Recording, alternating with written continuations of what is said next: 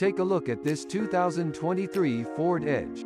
Equipped with an automatic transmission in agate black metallic. This car comes with some great features including all-wheel drive, brake assist, Android Auto, anti-lock brakes and more. Come in and check it out today.